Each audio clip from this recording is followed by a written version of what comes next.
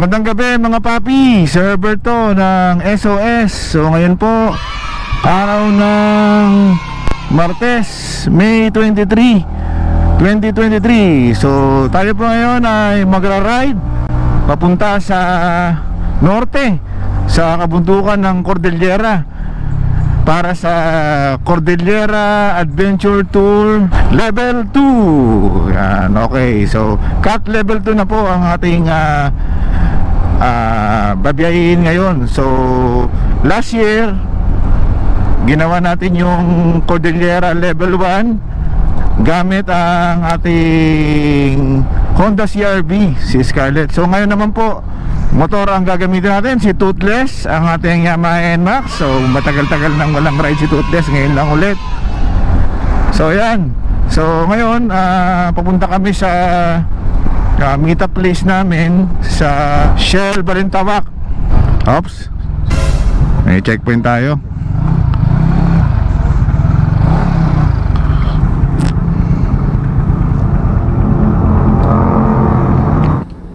Okay mga papi, at yun nga, na-checkpoint po tayo dito sa kahabaan ng Shorthorn Street, Project 8. So pinakita lang natin yung ating driver's license and ORCR goods na goods naman yan kasi kompleto tayo ng documents pag tayo ay nagra-ride. Okay mga papi, so take off na ulit kami. So kung papansin nyo, yung video natin, naka voice over po. So kasi nga, naglolo ko yung ating GoPro. So nawawala yung kanyang audio paminsan-minsan. And then paminsan-minsan naman, nag-freeze yung footage. So hindi ko alam kung ano yung pinaka main issue nitong Hero 8 namin. No? Kasi dati hindi naman ganito eh. Hindi ko alam kung yung battery or yung mic adapter or yung mismong external mic yung may problem. So, uh, pagpasensyahan nyo na kung minsan naka voice over po tayo kasi sayang naman yung recorded footage kung hindi natin uh, ipapakita sa inyo no. So mahaba kasi itong ride namin na to So divided to into 5 days Okay, so papunta na kami ngayon sa Shell Edge sa Balintawak Magmi-meet up na kami ng mga kasama natin sa ride para sa cut level 2 So So baybayan niyo po itong ride natin. Maraming salamat mga papi!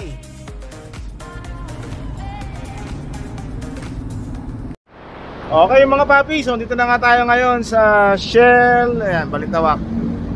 Ayan, so nantay pa natin yung mga kasama natin. There's tubeless, oh. Ayan. Ito yung matitesting na natin yung ating bagong ilaw, yan, kinabit natin, yung SC Adventure LED, yan. Okay. Ayan, ay puntahan ko na yung mga, ito yung mga kasama natin. Ito, idol ko, organizer ng Tate Endurance. Ayan no Ano masasabi mo, Papi? Uh, maulan. Maulan, sana walang ulan. Kasi may ano nga, may paparating daw na super typhoon Pero sa, sana, sa, parang sa ano eh, sa Papuntang Taiwan yata yun Sa mga official back ride Ayan Ayan, ito yung, eh, meron pala kaming kasamang manager. Ito. Manager namin.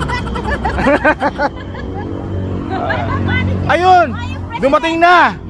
Ang legendary si Boss. Boss Idol. Parang kailan lang. Kasama ko sa North Loop. Eh, dito na naman kami. Babiyahin na naman. Ano, boss? Magpapakapagod. Ha? Magpapakapagod. Uulan ba? Ulan, bumabagyo. okay, sige. Magagasa muna kami mga paps. Tapos sa take off na kami. Papuntang uh, Rich Legarda. So siguro mag-stop over kami sa Tarlac, no? Kasi ang mga motor natin, NMAX, tapos KRB, and then uh, MIUI 125. Okay? So balik tayo mamaya mga paps. Okay mga paps, so take off na po tayo. So time check 12:14 AM. So ang unang stopover natin ay sa Shell, uh, Tarlac City. So MacArthur Highway. So ano 'yun, uh, approximately from dito sa EDSA Balintawak 114 kilometers. So yan, so yan ang unang ano natin, uh, stopover. So ngayon, okay, so approaching tayo ng MacArthur Highway. So ito pala tayo. Okay, so medyo matagal-tagal na natin di nagagamit tong motor natin, no? Ang iniilaw muna natin yung ating ano, ah mini driving light kasi medyo maliwanag pa naman dito. So kung saka na natin sisindi yung isang ilaw natin kapag ah, madilim. Okay mga papi, so balik po tayo mamaya, no? So mag-ride muna tayo. So ah, ride muna kami along the MacArthur Highway.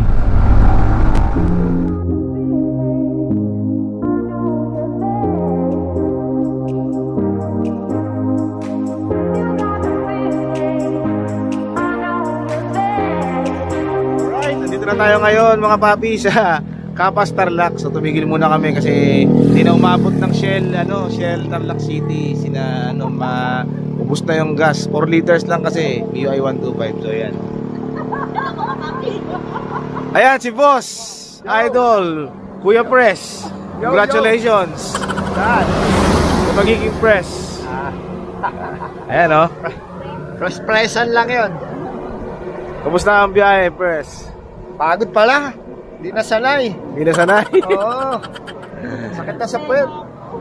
Okay, so titigil kami sa Shell Rosario para mag breakfast at nagugutom na yung idol ko. Ayan o. Ayaw ka sa motor mo. Ayan o. Thank you kay Best sa aming ah, personalized best para sa Cordillera Level 2. Okay mga paps, balik tayo mamaya.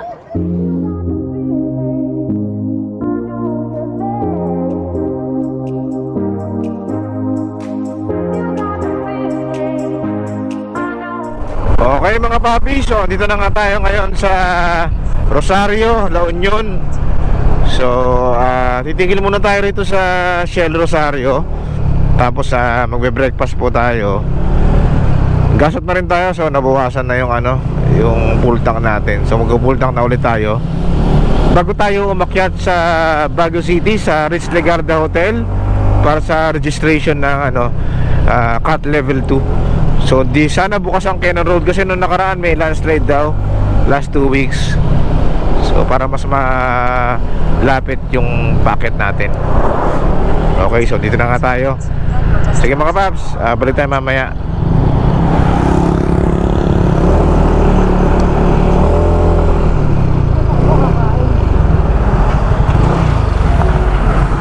Morning mga papi, Dito tayo ngayon sa Jollibee Rosario, La Union. So yan, dito kami mag-breakfast. So yan, nakikita niyo yung two suit namin shirt, no?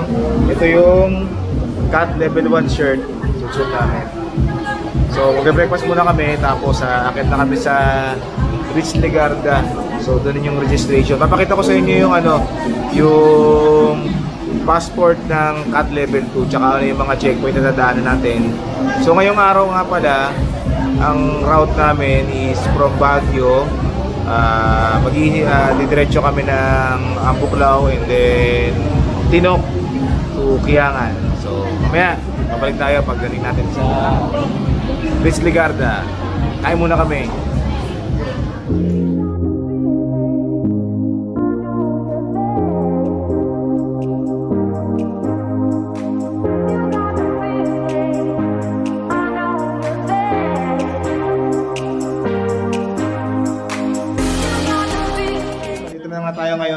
Ritz Legarda sa Baguio City. So ito yung mga kasama natin. Ayan. Si Boss, Idol. Ready na ba? Ayos. Walang ulan. Masabaw.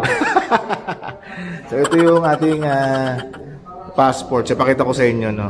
Ito. Ayan. Pag nag-register kayo, so yan, ito yung inyong kailangan ma-accomplish na mga photo ops. Ayan, nakalagay dyan. Ayan. Official checkpoint details. So kailangan may picture tayo dyan. And then, ayan. Nalagay lang yung odometer reading. Okay. Pag nakompleto na yan, ayan. Finish line is dito ulit sa Baguio. Okay? Ayan. Okay, so from here, Star Ridge Hotel, susunod tayong pupunta is Ambuklaw View Deck.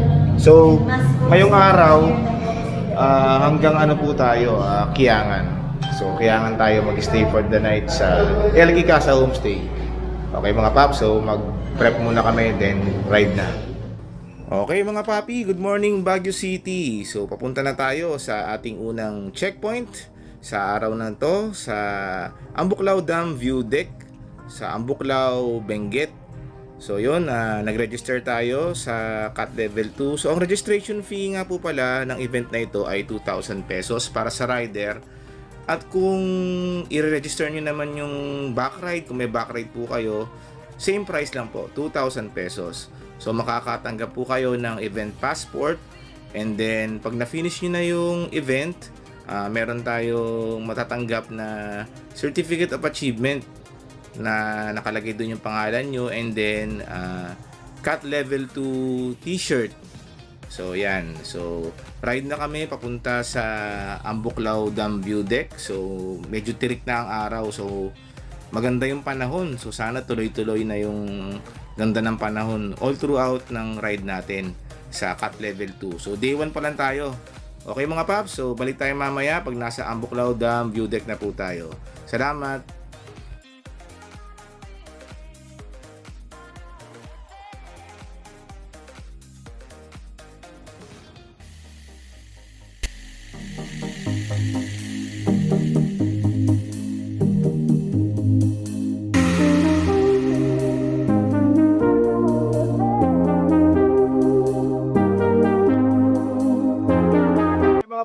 Andito na tayo sa checkpoint 1 ng cut level 2 sa Ambuklaw Dam View Deck. So ito po.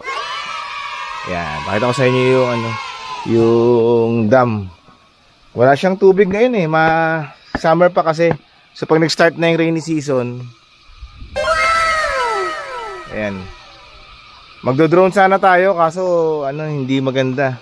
Walang walang tubig yung dam eh. Ayan. Okay, so mag-ano muna kami, pahinga ng onte. And then uh, proceed na tayo sa meron kaming side trip dadaan kami ng ah, Bocod ah, Benguet sa Daklan Sulphur Spring. So hindi naman siya kasama sa ano sa hindi naman siya kasama sa official checkpoints pero since along the way naman dadaanan natin. Okay? So kita-kits mamaya. Okay mga papi, so take off na tayo dito sa Ambuklaw Dam View Deck. So yan, sayang hindi tayo nag-drone na kasi wala namang pong tubig eh. Okay, makita nyo yung mga kasabayan natin dito, ang tutulin. So ito, ito yung kalsada na to, uh, Benguet na Vizcaya Road. So pag diniretso nyo to, lalabas kayo ng Aritao. Okay, so next des- next destination natin ay Daklan Sulphur Spring sa Bocod, Benguet. Okay, so hindi pa tayo nakakapunta diyan. So dadaan tayo ngayon. Isa, isa side trip natin. Hindi naman siya kasama sa ano no sa checkpoints ng cut level 2. Pero idadaanan po natin. Isa side trip natin. Okay mga papi, so balik tayo mamaya no pag na tayo sa ano Daklan Sulphur Spring. Salamat po.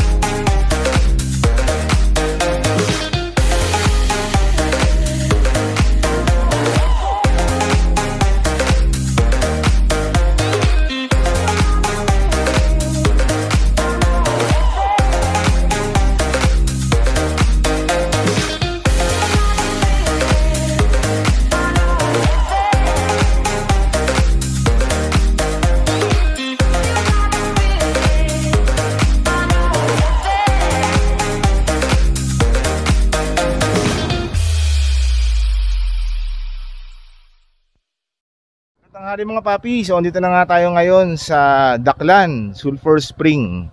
So, ito. Pasok tayo. First time natin dito, no? Okay.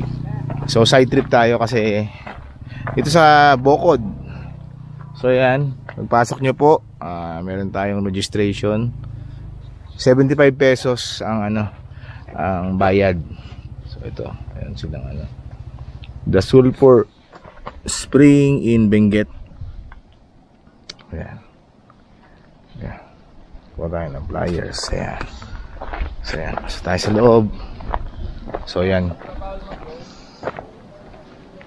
Ayan. Kung makikita nyo, so basically, umuusok nga kasi may ano, sulfur. So, mainit yan. Ayun o, yun dun. Ayun o. Ayan, babayin natin. medyo ano ah anong tawag dito? Baho. Amoy itlog. Amoy itlog siya. Ayan. So the only sulfur spring dito sa Benguet. Andaklan Sulfur Spring okay. Ayan. Lakad tayo. Ayun oh. Pakita ko sa inyo yung usok. Mga paps. Ito. Ayan. Ayun. Kitang kita. Ayan. Ayun oh. Kumukulo. Hindi ka na, wait. Sabi nila may healing properties daw yan eh pero wag na natin subukan. Ayan. oh.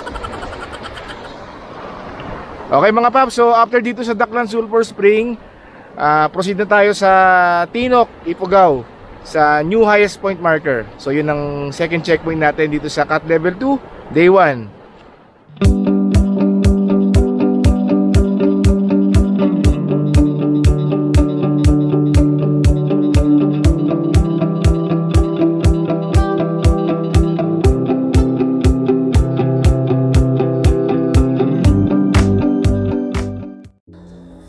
Okay mga papi, so papunta na nga po tayo ngayon sa new highest point marker sa Tinok, Ifugao. So tapos na tayo mag-picture at mag-stay dito sa Daklan Sulphur Spring. So bali first time namin dito no. So napakita ko naman na sa inyo ko yung view ng Daklan. So napakaganda pala dito mga paps. Okay, so proceed na nga po tayo sa next checkpoint ng cut level 2 uh, new highest point marker Tinok Ifugao. So bali second time na po natin dito sa highest point marker na to. Yung unang ride natin dito was way back 2019. So ang gamit pa rin natin noon ay si Toothless pa rin itong ating Yamaha NMAX. So kasama natin last na punta natin dito sina Paps Kushi and Manay Polay tsaka yung mga kaibigan natin sina Manay Dana and Paps Akimiro. So kung mapapansin nyo yung view rito is puro ahonin to kasi nga highest point elevation siya ng Pan Philippine Highway. So medyo puro akyat ang kalsada rito pero napakasulit kasi napakaganda po ng view. Yan, makikita nyo naman may mga view ng rice terraces sa kapaligiran tapos mga view ng bundok. Okay. So after dito sa new highest point marker, dediretso na po kami sa Kiangan, Ifugao. So dadaan muna kami sa Kiangan Shrine. So sa Kiangan Shrine, first time din natin dyan. Tsaka yung kalsada ng Tinok to Kiangan, di pa natin nadadaanan yan. So unang beses po natin yan dadaanan.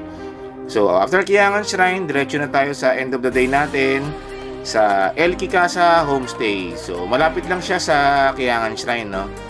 Okay mga papi, so balik tayo mamaya. Pag nandito na tayo sa New Highest Point Marker, papakita ko sa inyo yung view niya. Salamat!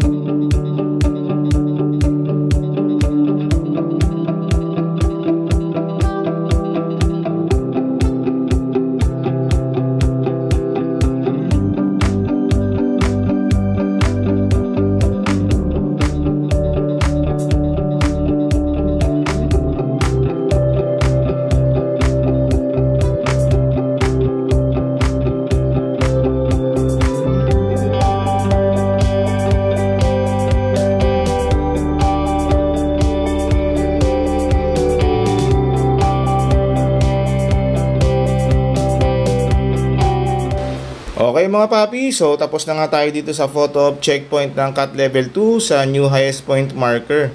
So after here, dediretso na po tayo sa Kiangan Ifugao. Una nating dadaanan ang Kiangan Shrine. So yung Kiangan Shrine, sa pagkakaalam ko, no, dito huling sumuko si General Yamashita. Okay mga paps, tapos diretso na tayo sa El Kikasa Homestay. Okay mga papi, diyan na kami. Salamat!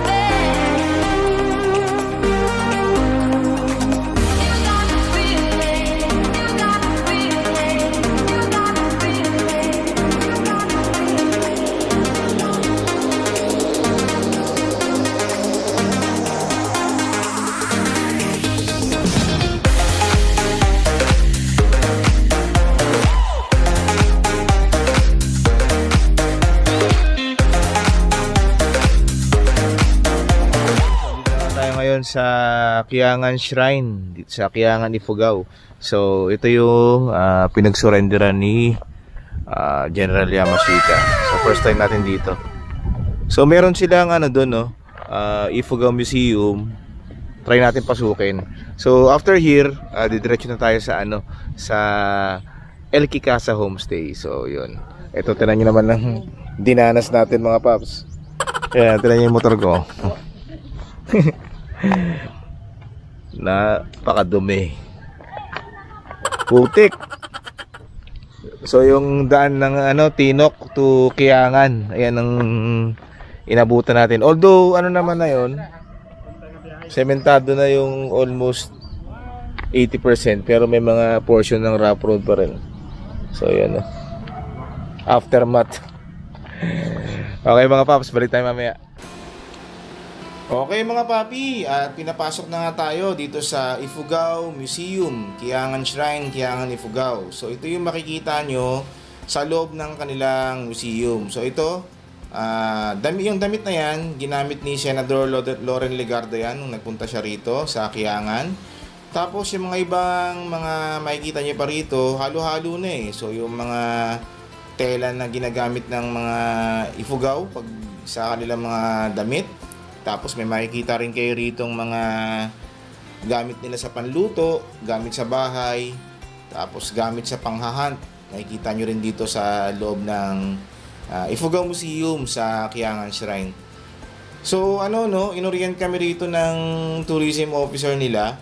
So nalaman ko rin dito na hindi pala doon sa Kiangan Shrine yung ah, pinagsukuan talaga ni General Yamashita, kundi sa eskwelahan. Doon pa, lalakad ka pa ng malayo. So, hindi na natin napuntahan yun, no? Okay, so, yan. So, yan. Pagkatapos namin dito sa Ipuga Museum, punta na kami sa El Kikasa Homestay nga. So, tutuluyan namin. So, sa kasamang palad, wala na tayong ganong video kasi nga, ah, nalobat na po yung GoPro natin. Tapos, nag-brand out pa. So, hindi na tayo nakakuha ng footage. Anyway, may mga pictures naman kami. So, nag-picture kami sa dito sa museum and then sa El Kikasa. So, yan. Summary ng ride natin. So, day 1 natin. Nakakapagod pero very worth it yung naging buong biyahe. So, umaga kami magpapahinga at kakaharapin pa natin yung ating susunod na route. Ah, day 2 natin from dito sa Kiangan, papunta tayo ng Mayoyo Ifugao, Paracelis, and then sa Tabuk City. So, samahan nyo kami sa day 2 mga papi ha. Okay, maraming salamat sa panonood. Ride safe.